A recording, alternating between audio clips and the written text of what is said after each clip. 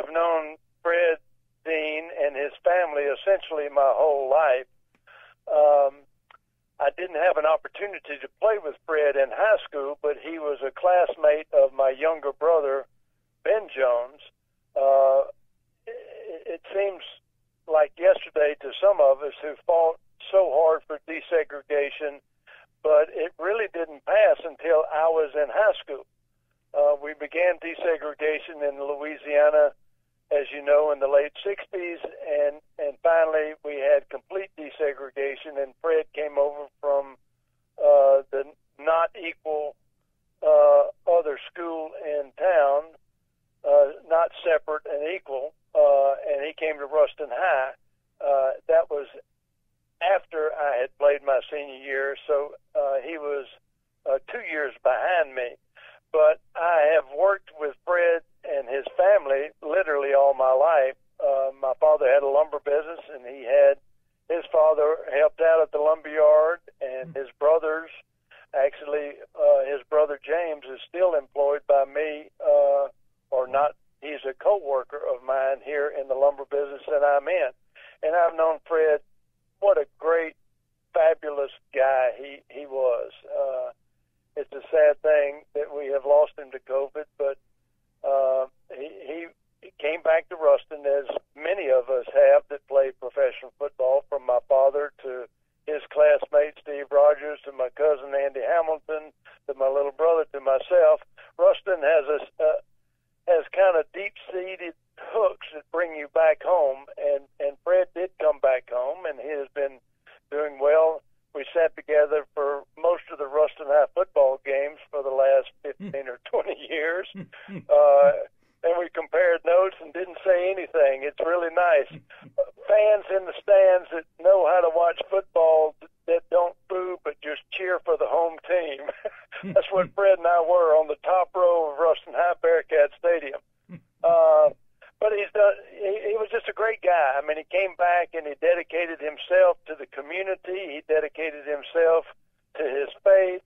He worked as a youth counselor in the church that he was with. He preached on the weekends, uh, and just was a strong uh, pillar of our community. And we had a big send off uh, on Saturday at Louisiana Tech Stadium, and it was it was a nice event for Fred. But uh, I would rather have the opportunity to sit next weekend on the top row at a properly distanced location watching the Ruston High Bearcats play football. Well, indeed, and, and the fact I know you, you savor the memories of, you mentioned, uh, some 15 years that uh, you were able to do that. Uh, Fred attended Louisiana Tech. He had opportunities to go, uh, apparently, to play for the legendary Eddie Robinson at Grambling, but uh, he decided to attend Louisiana Tech, where he enjoyed an All American career and, like yourself, is a member of the College Football Hall of Fame. Yeah, Fred did go to Louisiana Tech. Of course, I live in a community, i.e., Louisiana Tech and Grambling are in, the, in in basically the same town. I mean, Tech and Grambling campuses are about two and a half miles apart, maybe three miles, uh, uh, just right on the same street, as a matter of fact. Uh, and Coach Eddie Robinson and was such a great guy and a dear friend of mine, and and a dear friend of my father's. Uh, matter of fact, every off season I would work out at Grambling. Hmm. But Tech had, uh, uh, you know, they had some really good football teams, and and and Fred decided to go to Tech, and it was a good choice. Hmm. Uh, they since have retired his number, and he's in the Hall of Fame at Tech.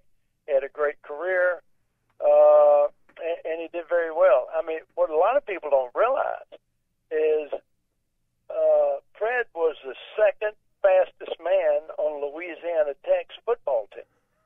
Now, wow. key into this, this is a man that's six four and a half. He was 245 pounds at the time, but he, he ran the hundred yard dash in high school. But the only person that could he couldn't outrun was Roger Carr, who happened to be probably the fastest man in the NFL when he was at his tops. Hmm. So it was amazing the skill and and abilities that Fred had, he, he just was an unbelievable athlete, fast, strong, and the crazy thing is, is Fred never lifted a weight wow. in the weight room. that I know of.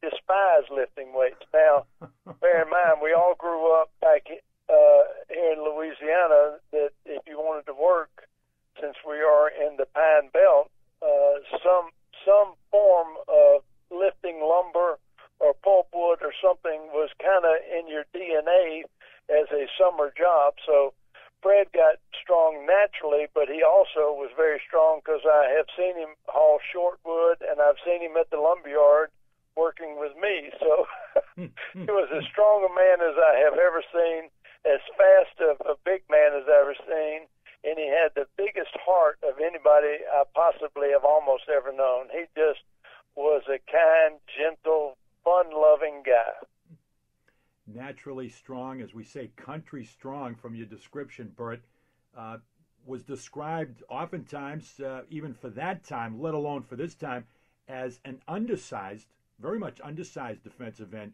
edge pass rusher extraordinaire. Uh, stat, the uh, stat of sacks wasn't kept until 1982, but it's estimated he probably had about 100 career sacks.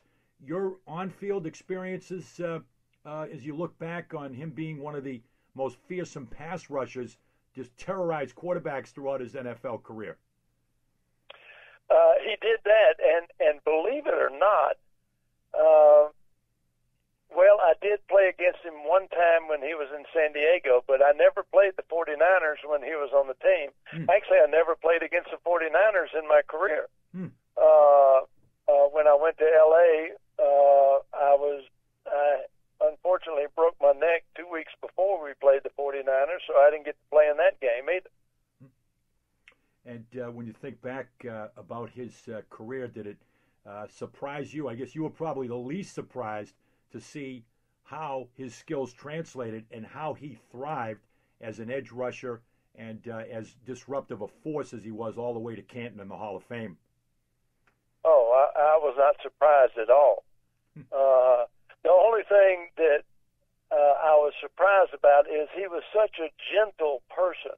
Hmm. You know, normally you think of a defensive lineman or a defensive end having to have a little mean streak in him exactly. in order to do the things they do to quarterbacks like myself. Fred was not he he had none in his DNA at all. He was just such a kind and gentle person that uh uh, he, he will be missed. But he has a lot of children in our community and and brothers and sisters, and, and I know them all, and I know they will miss him. But he is uh, he was just a great guy. Well, from the Ruston rifle to I guess uh, he could have been the Ruston wrecking ball uh, for the havoc that he wreaked on offenses through his career. Uh, Bert, we really thank you very much uh, for for your memories uh, about uh, Fred, and it sounds like he will be sorely missed by the the Ruston community. Once again, as you mentioned, a man of faith. He had been Reverend Fred, Dream, Fred Dean for a number of years there with his presence in the community. Yes, and, did such a great job with the youth, uh, both in his church and throughout the community, and along with the Boys and Girls Club. He, he's just a fine fella. I mean, you know, that's just uh, you know, somebody might want to know what you'd like to be known as, is, and just a good friend. And uh, that's he was a good friend to so many people that uh, he'll be sorely missed.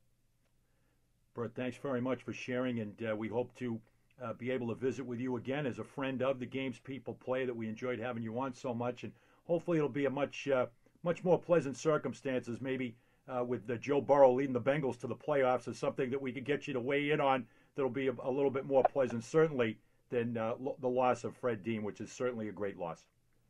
Yes, it is. Well, y'all have a good day up there in Boston. Look forward to coming to see you at your at your corner's place.